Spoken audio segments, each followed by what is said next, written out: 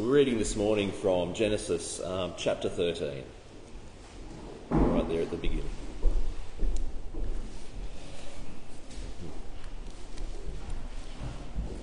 So Abram went up from Egypt to the Negev with his wife and everything he had, and Lot went with him.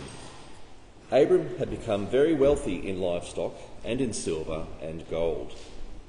From the Negev he went from place to place until he came to Bethel, to the place between Bethel and Ai, where his tent had been earlier and where he had first built an altar.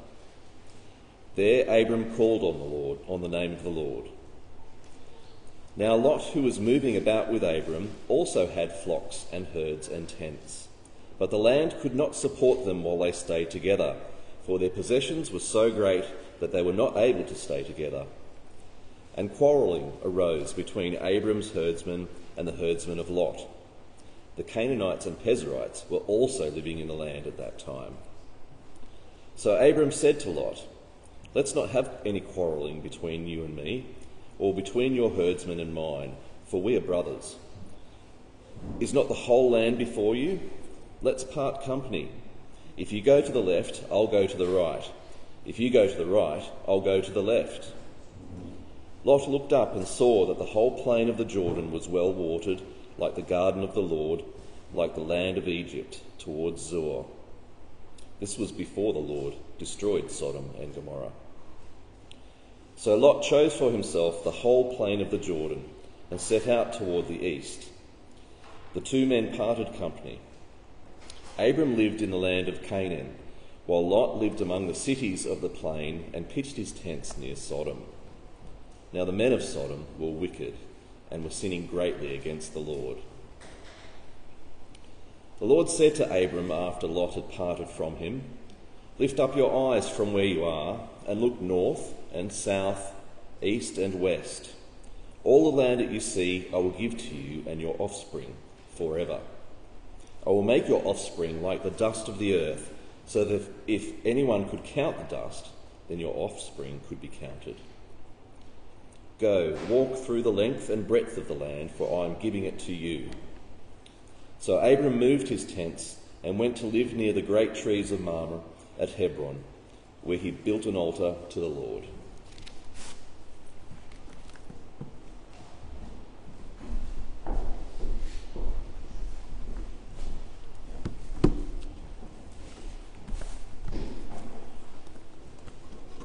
Good morning. Thanks for that, Rob. Uh, before we get into this message that I've called the providence of God in poor in our poor decisions, um, I'm going to ask for God's help so that we might hear from Him this morning. Let's pray. Father, we ask, Lord, that you would help us, that you'd go before us, that the Holy Spirit would um, speak to us this morning of the things that you wish to teach us about, um, the ways in which you want to encourage us and move our hearts so that we might better serve you, that we might love you more, that we might be able to serve you more wholeheartedly. Father, we pray for your help, and I pray for your help as a preacher that you go ahead of me in Jesus' name. Amen. Amen. Uh, it might not surprise you, I don't know, depends how well you know me, I suppose, uh, that I have made some bad decisions in my time. Uh, I, as I was thinking about this, I'm like, there's too many to even even count them. Uh, one of them was uh, when I moved down to Hobart the first time. So I grew up in Launceston. I came down to Hobart to study science at the University of, of Tasmania. And at that time, I didn't have my driver's license. Uh, I had waited a little bit too long, hadn't got around to it. And um, I was looking for a place to stay, and I ended up staying with this lovely family. But they lived at Acton Park, which, if you know that area of town, it's quite a long way from the Sandy Bay University campus. And I couldn't drive, and the bus service wasn't great out there. It wasn't a great decision. I could have lived somewhere a lot closer. I, I don't think that was very wise. It became pretty hard, and in the end, uh, I didn't continue with that course of study and moved back to Launceston. The second time, I moved down to Hobart. Uh, we moved down south, Shelley and I, uh, moved into where we are now, and I turned up for work uh, with the Department of Health and uh, talked to my, my supervisor, my manager, and it became clear that I hadn't really communicated that we intended to move permanently to the south of the state. And she was a little bit surprised by that, given that my job was to be responsible for the north of the state. Um, so not necessarily a, a great decision, uh, but it turned out okay. She, I was able to work from the south of the state, and it was fine. Now, there were so many bad decisions through my life, I, I don't even have the time to talk about them all. Uh, and yet, the providence of God has been evident through my poor decisions. Now, this isn't an excuse, right? This isn't um, saying that you can replace a belief in the providence of God for prayer. All right, I'm not advocating for a lack of wisdom in decision making. I'm not advocating for recklessness. But what I am saying is that God is good all the time, and He is so kind that we will in time see how His providence has been working to our good. Because that's certainly what we see in the life of Abram. Because there are at least three very poor decisions that I want to look at in this passage. And you see, not all poor decisions have the same outcomes. Some poor decisions actually have good outcomes. That's the first one I want to look at. A poor decision with a good outcome. Have a look again at verses 1 to 4 of chapter 13. So Abram went up from Egypt to the Negev with his wife and everything he had, and Lot went with him. Abram had become very wealthy in livestock and in silver and gold. From the Negev he went up from place to place until he came to Bethel, to the place between Bethel and Ai, where his tent had been earlier, and where he first built an altar. There Abram called on the name of the Lord. Now, you might remember when we left Abram two weeks ago, he and Sarai had. Uh, had, he had just had Sarai returned to him uh, because Pharaoh had taken Sarai as his wife. And we discussed how this deception on the part of Abram uh, was born of a legitimate fear. Abram acted out of that fear instead of faith, and as we saw, that, that led to great sin. Now, there's no sugarcoating what happened here. All right, this is maybe slightly uncouth language, but Abram pimped out Sarai. To protect himself, and he profited from it. He was, it was premeditated. He knew that if they thought that he was, she was his sister, that they would take her and that she would be forced to sleep with Pharaoh. Friends, that's horrific. And he knew it would happen. He knew that they would treat him well because of her. Now, Abram thought that the alternative was death, so, he, so we might understand why he was tempted to do this. But you see, the alternative wasn't death, was it? It was trusting God who had things under control the whole time. And here we are, having left Egypt with all of those ill gotten gains. And yet, there is a sense in which, and we'll see this a number of times through Genesis, that by Abraham leaving Egypt with all this gold and all these goods, that he's kind of prefiguring Israel during the Exodus when they leave Egypt with all gold and all these good things.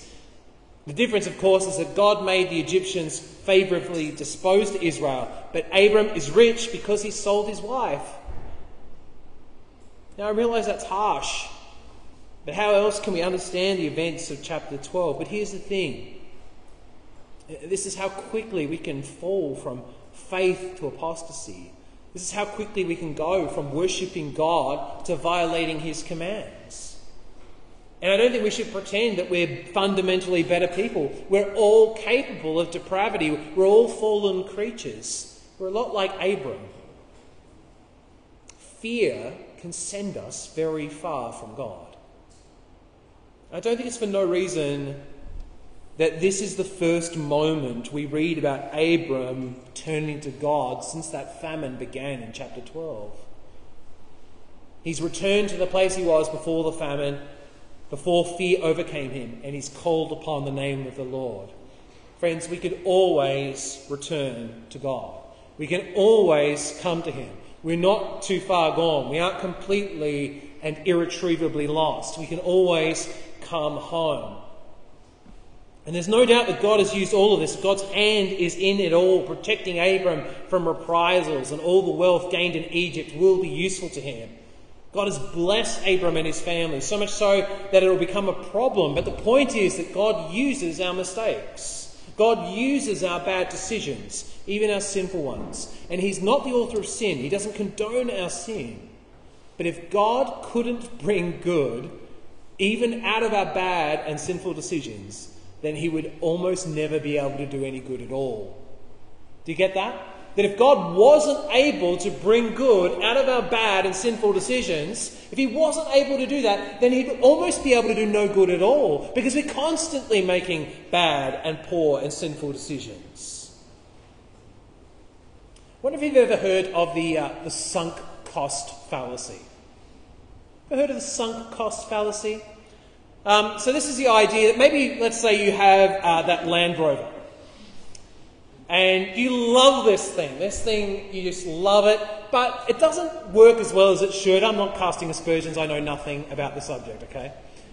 I'm just saying it's a Land Rover because I know that's going to trigger a few people in here. no, it's a Land Rover, but it, it constantly has trouble. You're constantly spending money to make it work. And, and it's gotten to the point where you've spent thousands of dollars on this thing, and if you, it really, you could probably just replace it for less money, right? But you've spent so much money on it that you feel obligated to keep going.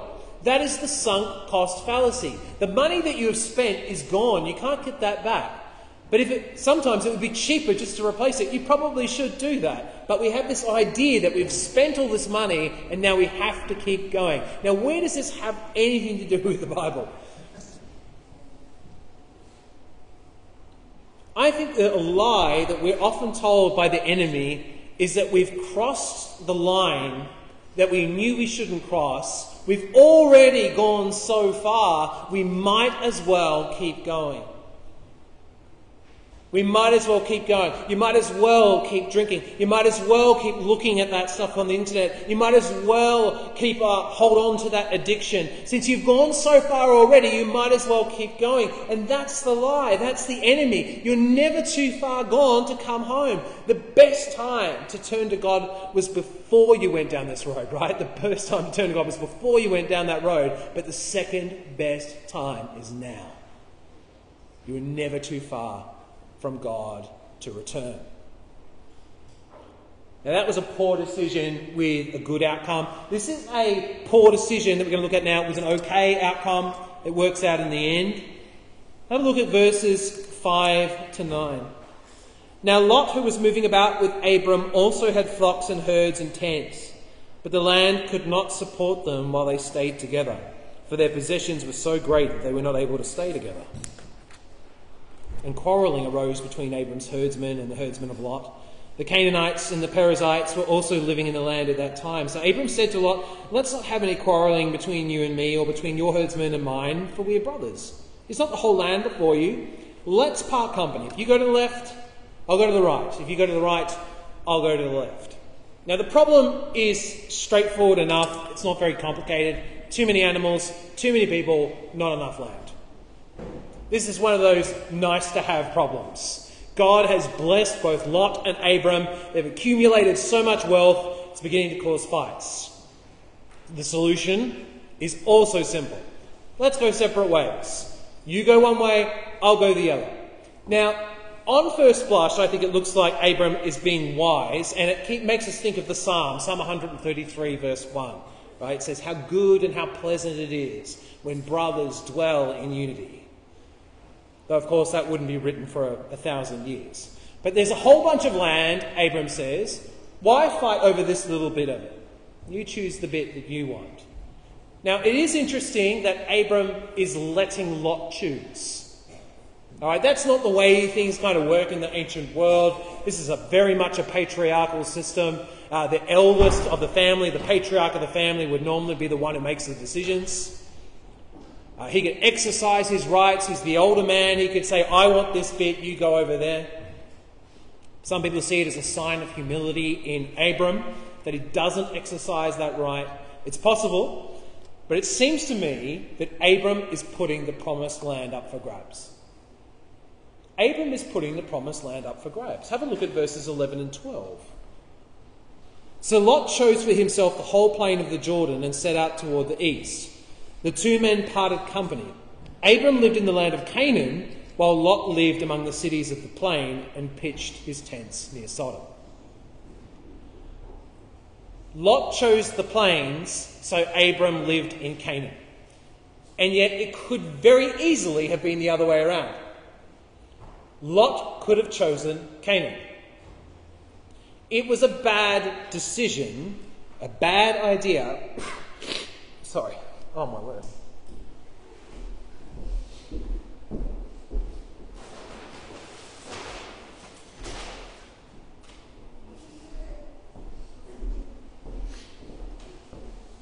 Sorry about that. Still not 100% recovered. It was a bad idea to leave that decision to Lot. He could have chosen Canaan. Could have chosen promised land. And then Abram would have had to go in the other direction. Don't gamble with the promises of God. Don't offer to others what God has explicitly set aside for you. And here's what it shows God is in control. God's providence is such that the land on the plains was, was much more attractive than that particular part of Canaan. Was a bad decision. The outcome was okay. Now, the lesson here isn't that God will ensure all outcomes are okay, no matter what decisions are made, but that ultimately it isn't within human power to frustrate God's plans. God has a plan for Abram. He will make him into a great nation. And Lot needed to go in order for that to happen. Look at verses 14 to 18. The Lord said to Abram, after Lot had parted with him, Lift up your eyes from where you are and look north and south, east and west. All the land that you see I will give to you and your offspring forever. I will make your offspring like the dust of the earth, so that if anyone could count the dust, then your offspring could be counted. Go walk the length and breadth of the land, for I am giving it to you. So Abram moved his tents and went to live near the great tree of Mamre in Hebron, where he built an altar to the Lord. It's like Abram has had a reset. These words are very similar to the words in 12, chapter 12, verse 7. God reaffirms his promise for Abraham in this particular land, although the promise has more detail this time. And Lot needs to go because Lot will not inherit this land. This isn't for Lot and his descendants. It is for Abram and his descendants, even though they haven't been born yet. Friends, we can trust the plan. We can rely on God. It doesn't mean we'll get everything we want. It doesn't mean we won't need to make wise decisions. It just means that God does have a plan for our lives. And we're not powerful enough to completely throw it into chaos. Friends, sometimes I think it's worth taking stock. I actually have a bunch of tissues over there. thank you, thank you, though. Uh, sometimes it's worth taking stock of the providence of God. I have to admit that I've been thinking a bit about this recently. Um, we probably have all seen the video of former President Trump nearly being assassinated. And instead of being killed, he turned his head at just the right moment and the bullet, instead of killing him, grazed his ear. Now, I don't know if you've seen the whole video, but moments before that happens, he actually goes off script. He has a couple of teleprompters here and here, and he says, Do you mind if I go off teleprompter? The crowd loves it. And he starts going off script and he starts talking about this chart that's over here. Now, if he hadn't done that, if he hadn't gone off script, if he hadn't started talking about this chart that was on, on the screen, he would be dead. It saved his life. Now, it doesn't really matter what you think about Trump, whether you think he's a hero or a villain, uh, but that is the providence of God. Now, my hope is that Trump genuinely recognizes that. He does a little bit, but I hope that he has a genuine, repentant faith in the Lord Jesus Christ and worships him because of it. Because that's what Abram does. He worships God. Abram begins and ends this chapter in worship. The Egypt situation shook him a bit, I think. Uh, that situation, that fear, pushed him away from God, but he's back now and he's trusting in God. Friends, I think that's something we can do that regardless of the outcomes, whether of our good and our bad decisions, we can call on God's name and worship Him for bringing us to the place where we are right now. But there's another decision in this chapter that we need to look at, and it's a poor decision with a poor outcome. Have a look again at verses 10 to 13.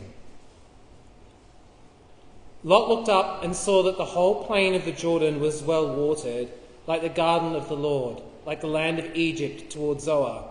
This was before the Lord destroyed Sodom and Gomorrah. So Lot chose for himself the whole plain of the Jordan and set out toward the east.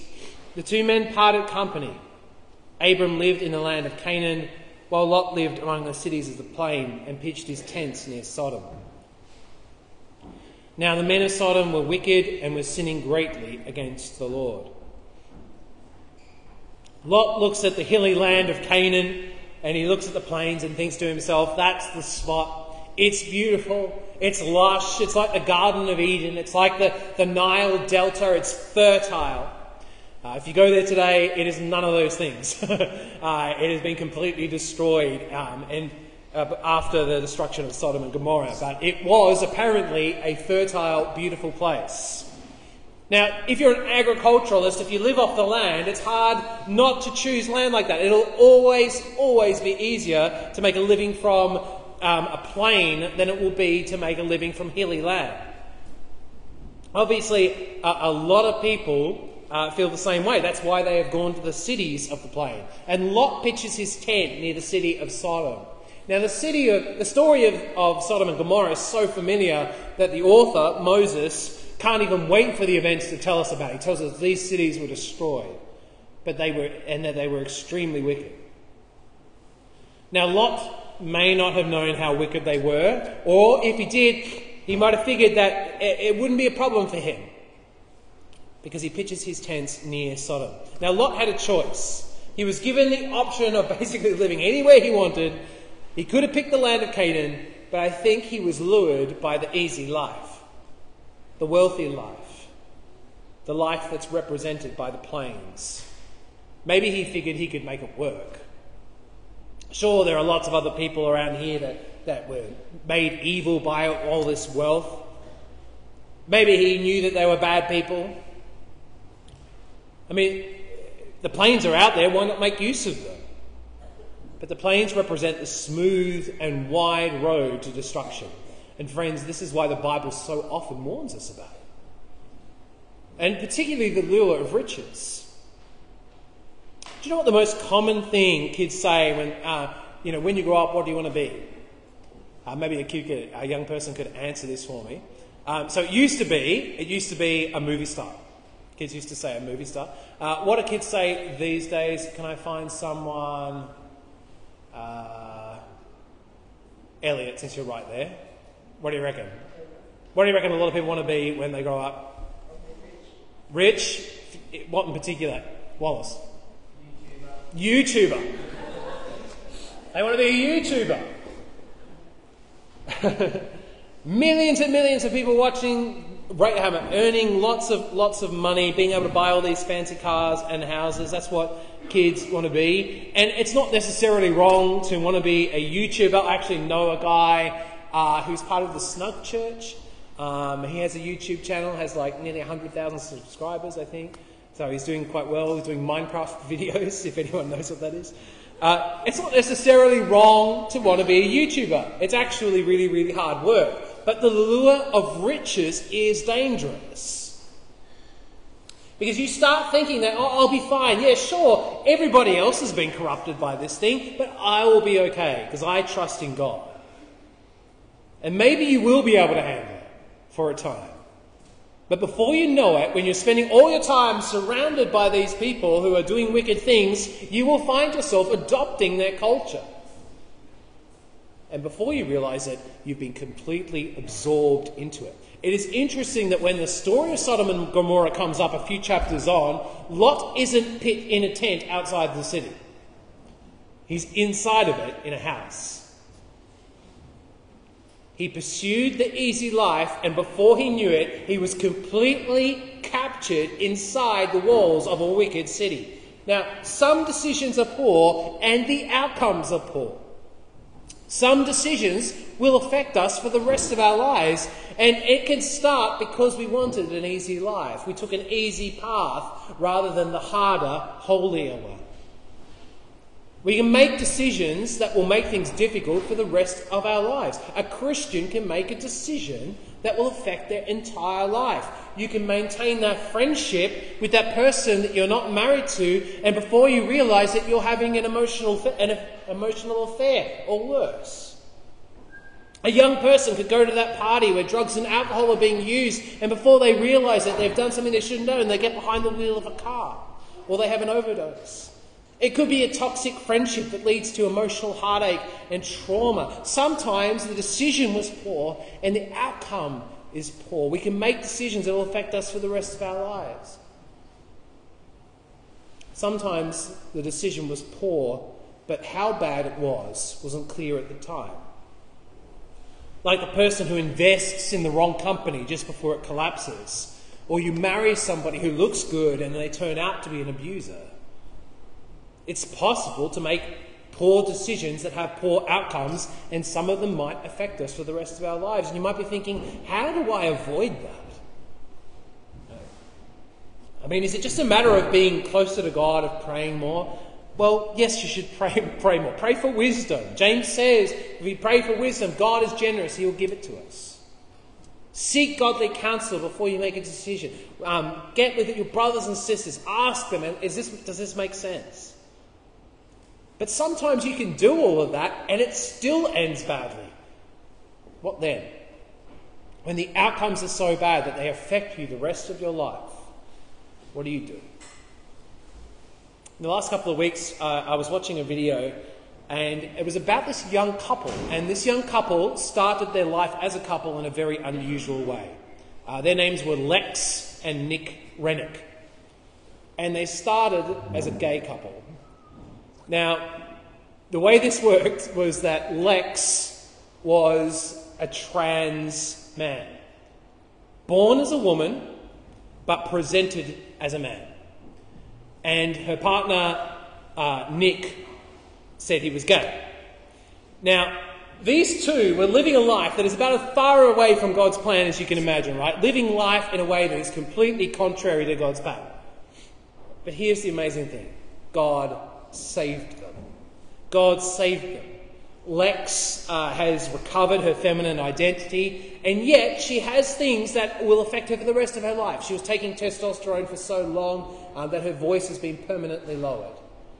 Uh, she had surgery, and so she won't be able to breastfeed her baby naturally. And here's the amazing thing God gave them a child. Lex and Nick will live with some poor decisions for the rest of their lives. But God has redeemed them, and their story is amazing. God can still make something beautiful out of the ugliness of our sins. God can restore beauty from the ashes of our poor choices.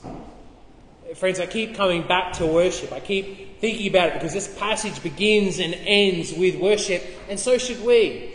Regardless of the path that our life takes, we will worship Him. Regardless of whether our decisions prove to be wise or foolish, we can worship Him and we will. If we are loaded with earthly riches or escape from danger with nothing but the shirt on our backs, we will worship Him because He is worthy and He is good and He will use all of it for His glory. Let's pray. Father, I thank you this morning that we can come before you and worship you because you are so good. That, Lord, regardless of how well our decisions turn out in the end, that you can and ought to be worshipped.